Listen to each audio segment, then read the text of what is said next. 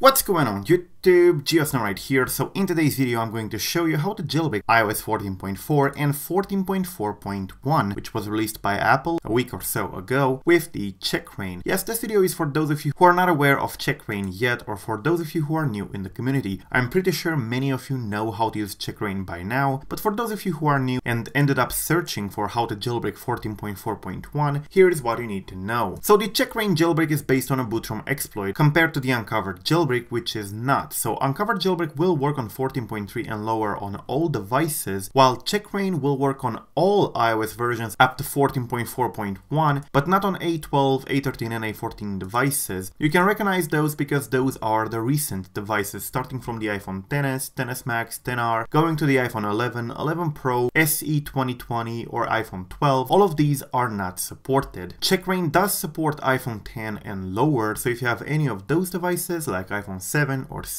or 5S and so on, these should work. Same thing applies for the iPads and iPod Touch. The iPads which do not have the uh, A12 or newer chip would work. So how do you get it? You should know that checkra1n is only available for macOS and Linux. There was a Windows version planned, it never came. We have no idea what's going on with that, so for now it's safe to assume that you either get the Linux version or macOS version. So the recent one is currently 0.12.2 and this one did not require any update to support 14.4.1. After you connect your device you should be able to see it like here. It says 14.3 in my case, though it does work with 14.4.1, because unlike the uncovered jailbreak, the checkra1n doesn't require a TFP0 kernel exploit every time a new version is out. It just requires some minor tweaking, if anything at all, because of the unpatchable exploit that is being used in checkra1n. So it does support 14.4.1, but you should keep in mind that this doesn't support 14.5. So if you're running 14.5 beta, this doesn't work for you. checkra1n needs to be updated before it supports that. So for those of you who are new to the channel and never used checkra1n before, here is the procedure. Once you download it, it looks like this. You connect your device and it should show like this, and then you go here to options and make sure you allow untested iOS. This is in order to support 14.4.1, because naturally it wouldn't support it without an update, but the checkra1n does support it internally, so it wouldn't be a problem. Then if you have an iPhone 8 or an iPhone 10, you should enable skip A11 BPR check. Now the rest of the commands are not necessary, but if you want the verbose boot, which is the text on the screen when it boots, for debugging purposes or if you like it better, you can either type dash V or enable verbose boot, which would allow you to do that. Then you press start, press next, and your device will enter recovery mode. This will take a couple of seconds, please do not disconnect your device. Once it shows the laptop logo or the iTunes logo, depending on how old your device is, you should follow the instructions here to put it in DFU mode. If you don't know how to put it in DFU mode, you can definitely Google it. But yeah, it's different from device to device. In this case, this is an iPad mini 4. So the combination will be to press the top button, the power button, and the home button for a couple of seconds. For other devices like the iPhone 7 though, the combination would be the power button and the volume down, because they do not have a home button. At least not a real one anyways. It's just a piece of glass that vibrates. Anyways, I'm going to press start here, and then I'm gonna follow the procedure. Just have to follow exactly what checkra1n tells you, because it knows what device you have, and it knows what procedure you should follow. Wait for it to connect in DFU mode, and as you can see, device entered DFU mode, and at this point your device will boot. You should see the checkra1n logo on the screen followed by some text, which you can of course ignore. And after that, your device should boot. It can take a couple of seconds, but after that, you should be in jailbroken mode. Now, if it's the first time you jailbreak, you're going to have to install Cydia yourself from the checkra1n application. I'm going to go to the device and show you exactly how to do that in a couple of seconds. But yeah, another thing to mention, the official